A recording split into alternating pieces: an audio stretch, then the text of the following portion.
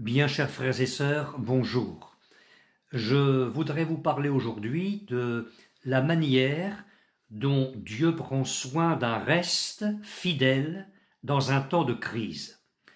Ouvrons la parole de Dieu dans le premier livre des rois, au chapitre 18, les versets 2 à 4. La famine était grande à Samarie. Et Akab fit appeler Abdias, chef de sa maison. Or, Abdias craignait l'Éternel, il craignait beaucoup l'Éternel, et lorsque Jézabel extermina les prophètes de l'Éternel, Abdias prit cent prophètes, qu'il cacha cinquante par cinquante dans une caverne, et il les avait nourris de pain et d'eau. Voici donc deux petits versets au milieu de plusieurs chapitres tellement chargés d'enseignements spirituels. Lisons le début du chapitre 18, les versets 1 et 2. Bien des jours s'écoulèrent, et la parole de l'Éternel fut ainsi adressée à Élie dans la troisième année. Va, présente-toi devant Akab, et je ferai tomber de la pluie sur la face du sol. Et Élie alla pour se présenter devant Akab. Bien des jours s'écoulèrent, nous dit la parole de Dieu. Combien de temps exactement? Élie est-il resté chez la veuve à Sarepta? Nous ne le savons pas précisément. Ce qui est sûr, c'est que nous sommes dans la troisième année de temps très difficile. Jésus l'a rappelé en Luc chapitre 4 verset 25, du temps d'Élie, le ciel fut fermé trois ans et six mois. Jacques également, au chapitre 5 de son épître, le verset 17, il ne tomba point de pluie sur la terre pendant trois ans et six mois. Pour la première fois, la parole de l'Éternel s'adresse Dieu lui donne de nouvelles directives, une nouvelle orientation et une grande mission, celle pour laquelle d'ailleurs il a été mis à part. Ramener le peuple égaré, apostat, vers l'Éternel. C'est une mission dangereuse qui va demander beaucoup de courage, de renoncement à soi-même et de foi. Passe encore si le Seigneur lui avait dit Retourne dans ton pays, je vais ouvrir les écluses des cieux. Mais tel n'était pas le cas, le Seigneur lui avait donné un ordre Va, présente-toi devant Akab. Autrement dit, va te jeter dans la gueule du loup. Pensez donc, la colère de Jézabel était telle qu'elle faisait périr tous les serviteurs de l'Éternel. Il n'est plus question de partir à Sarepta pour vivre ailleurs un autre confinement, bien au contraire, il s'agit d'une confrontation ouverte avec Akab lui-même, avec toutes les centaines de faux prophètes et avec le peuple infidèle. Quel sera le sort du prophète. Élie n'en sait rien, mais il risque sa vie. Jésus dit à ses disciples, Si quelqu'un veut venir après moi, qu'il renonce à lui-même, qu'il se charge de sa croix et qu'il me suive. Car celui qui voudra sauver sa vie la perdra, mais celui qui la perdra à cause de moi la trouvera. Matthieu chapitre 16, versets 24 et 25. Comme toujours, l'oreille du prophète est sensible à la voix de Dieu. Son cœur est dépendant de la volonté de l'Éternel et ses pieds sont prompts à marcher dans ses voies. Et toutes ces vertus spirituelles sont renfermées dans ce court verset et Élie alla pour se présenter devant Akab. la carrière de cet homme de Dieu est marquée par l'obéissance. Puisse-t-elle nous caractériser aussi. Élie dit donc adieu à Sarepta. Il dit adieu à ce coin de terre où il a passé de longs mois, deux années peut-être, qui compteront parmi les meilleurs de sa vie. Il quitte d'un dernier signe amical de la main la veuve qui l'avait assisté de ses biens et son fils.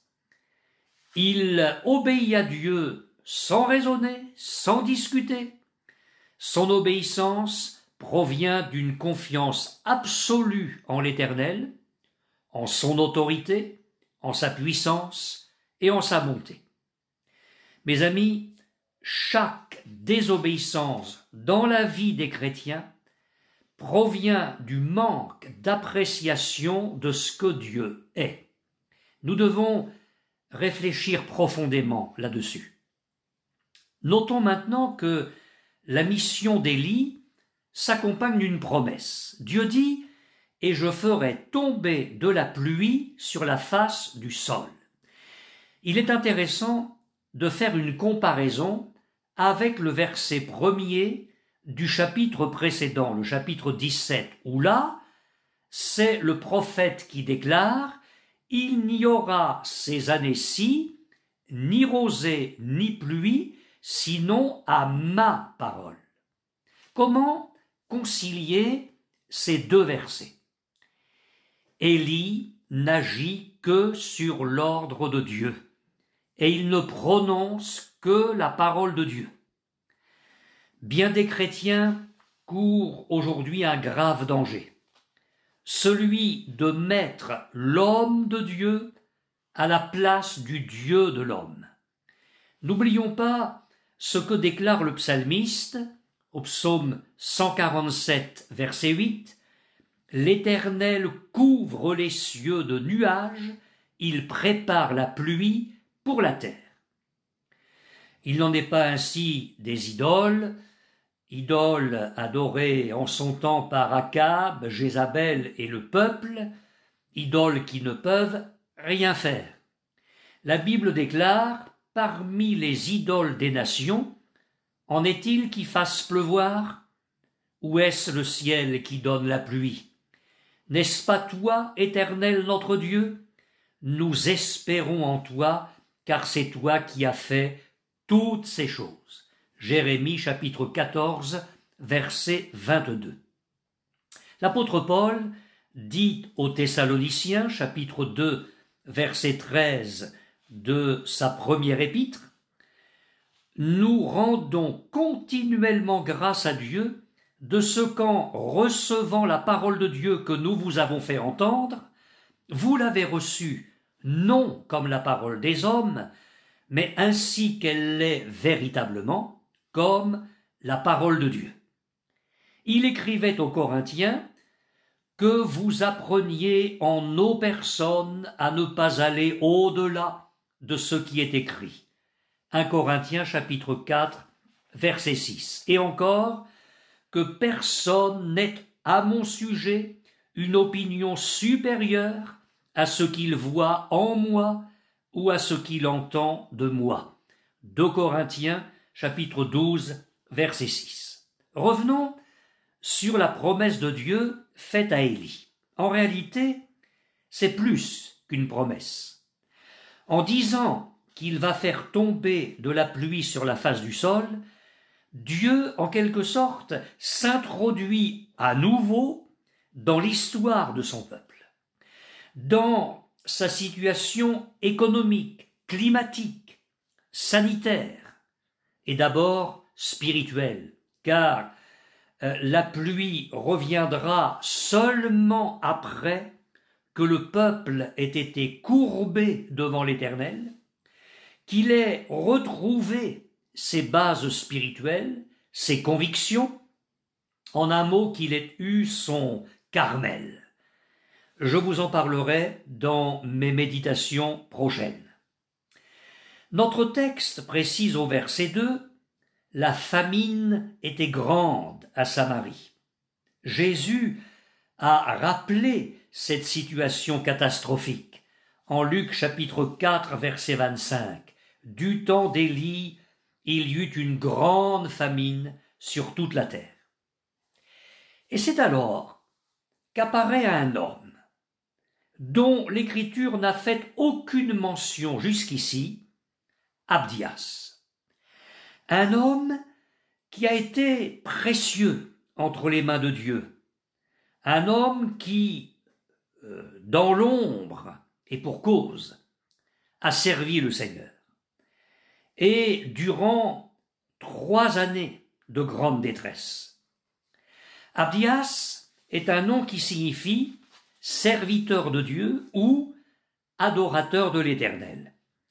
Dans la vie spirituelle, les deux choses se tiennent, l'adoration et le service. Tout d'abord parce que l'adoration en elle-même est un véritable service devant Dieu, c'est le véritable culte du chrétien, et ensuite parce qu'il est impossible de bien servir le Seigneur si on ne l'adore pas d'abord. Mes bien-aimés frères et sœurs, notre génération et notre temps réclament de tels chrétiens, des adorateurs serviteurs. Jésus a dit L'heure vient, et elle est déjà venue, où les vrais adorateurs adoreront le Père en esprit et en vérité, car ce sont là les adorateurs le Père demande. Dieu est esprit, et il faut que ceux qui l'adorent l'adorent en esprit et en vérité.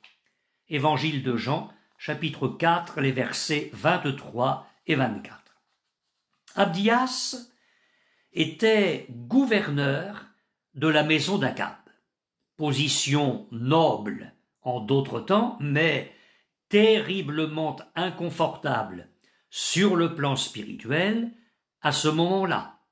Pensez donc, Abdias est chef de la maison du roi d'Israël, un roi qui est plongé en pleine apostasie. Et lui, Abdias, craint l'Éternel.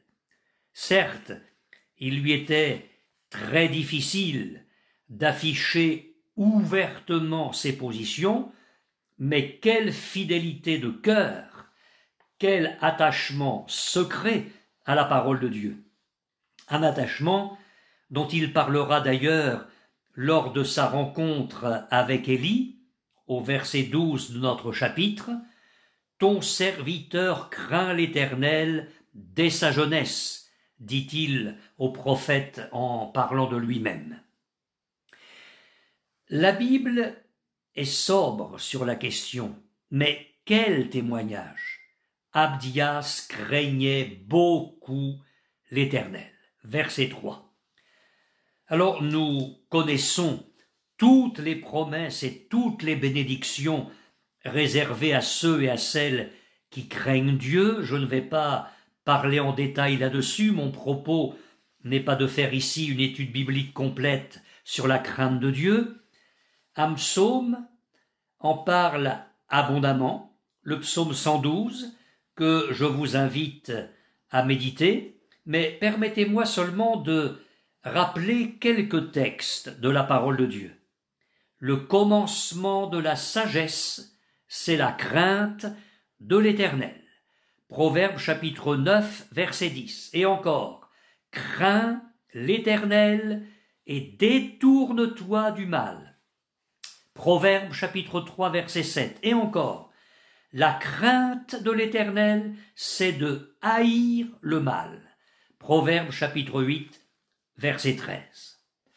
On peut craindre l'Éternel d'une certaine manière, et cependant le déshonorer en étant associé au monde qui ne veut pas de lui. Cette position peu franche se rencontre à chaque pas au milieu de la chrétienté professante. Que souligne l'Écriture en ce qui concerne Abdias? Qu'est-ce qui le caractérise dans ces temps de grande confusion? Sa piété l'avait poussé à secourir ceux qui étaient persécutés pour le nom de l'Éternel. Au fond, il était de la lignée spirituelle de tous ceux et de toutes celles qui ne craignent pas les grands, les puissants, les chefs, y compris ceux du peuple de Dieu lorsqu'ils deviennent infidèles, mais qui restent attachés au Seigneur coûte que coûte. Il faut obéir à Dieu plutôt qu'aux hommes, disait Pierre aux autorités religieuses de Jérusalem. Acte chapitre 5, verset 29. L'œuvre d'Abdias n'avait pas été insignifiante, cachée, sans prophète, dont la tête était mise à prix, et ce pour les nourrir, n'était pas une petite chose, surtout de la part d'un homme en vue à la cour d'Akab. Nous n'avons pas de détails sur ce qui s'est mis en place pour protéger ces cent prophètes, mais on peut essayer d'imaginer les choses. Il fallait connaître ces hommes-là, prendre contact avec eux clandestinement, et sans craindre d'être surpris et dénoncé. À l'époque, il n'y avait pas les réseaux sociaux pour abattre les hommes de Dieu fidèles, mais les langues perverses ne sont jamais à court de moyens pour leurs besognes destructrices. Il a fallu rassembler ces hommes dans une caverne et les nourrir régulièrement pendant longtemps, et ce, tout en restant chefs de la maison d'Akab. Comment un homme, craignant beaucoup l'Éternel, avait-il été maintenu dans un poste de confiance au sein d'une cour pareille?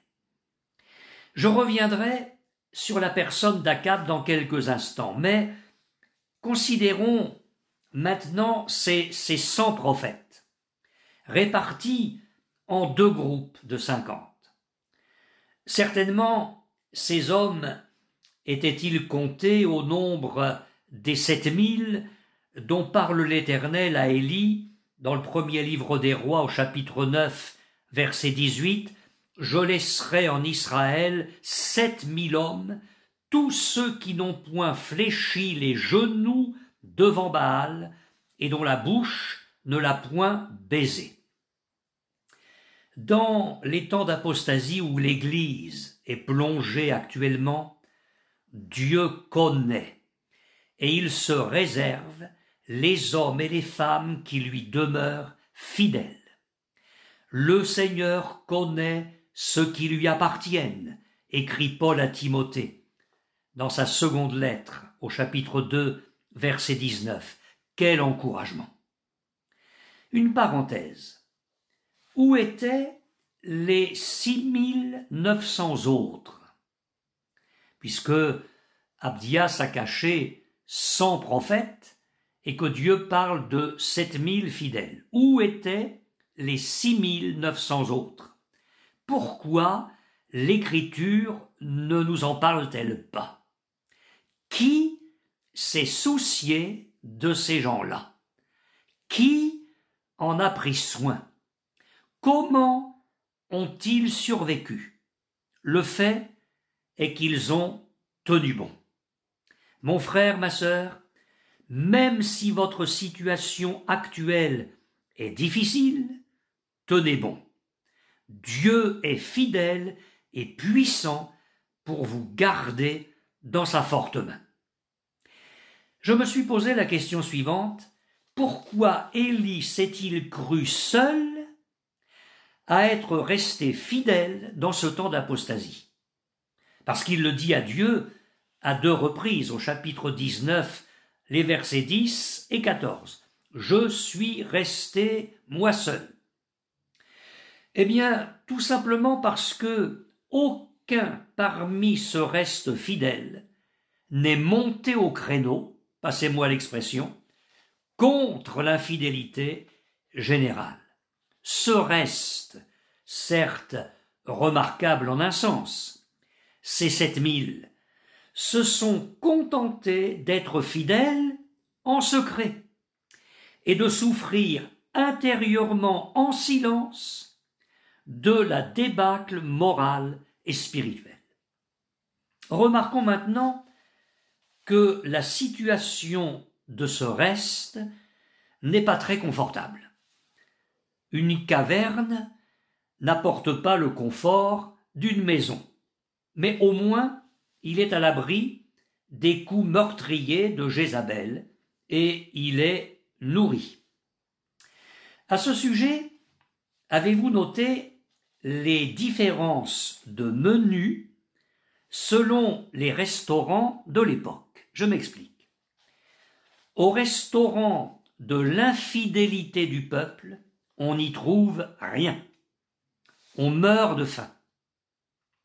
Au restaurant des cent prophètes, fidèles mais cachés, on sert de l'eau et du pain.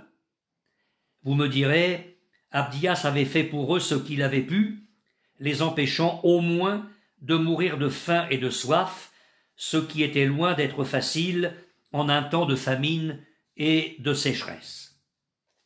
Mais Élie, lui, a eu droit à une nourriture autrement fortifiante, de la viande et du pain deux fois par jour pendant longtemps, et ensuite des gâteaux chez la veuve. Autre position spirituelle, autre nourriture. À propos, à propos pardon, des cent prophètes et d'Abdias, notons un point très positif. Quel contraste entre Abdias et Jézabel? La parole de Dieu nous dit que Jézabel nourrissait à sa table plus de 400 faux prophètes.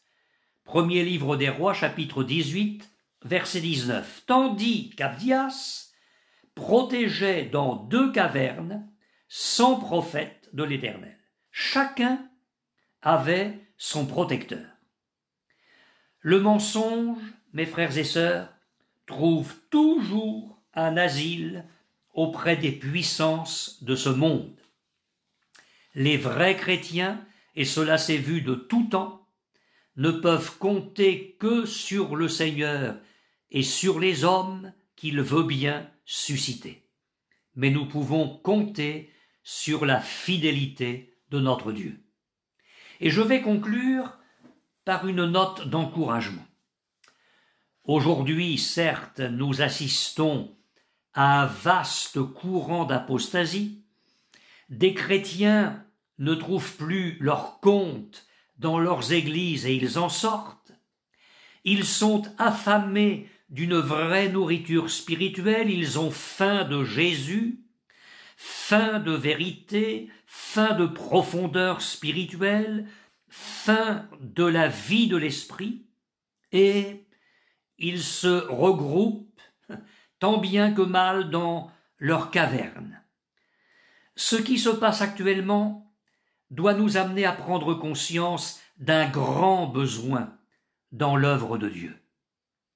Je suis pleinement persuadé au fond de mon cœur qu'aujourd'hui il faut des abdias, des hommes qui n'ont peut-être pas le ministère de prophète, ni le titre, ni la fonction officielle de pasteur, mais des hommes qui aiment le Seigneur, qui aiment sa parole, qui aiment son Église, des hommes qui ne recherchent pas les honneurs, les titres, la popularité, mais qui ont à cœur, sans orgueil, sans prétention, sans ambition charnelle, sans esprit de vengeance contre un système religieux à la dérive, de nourrir les âmes affamées. N'importe qui, bien évidemment, ne peut pas s'improviser un Abdias, ce serait aller tout droit vers l'anarchie, mais je suis convaincu que Dieu peut susciter de tels hommes. Il faut prier intensément pour ce besoin.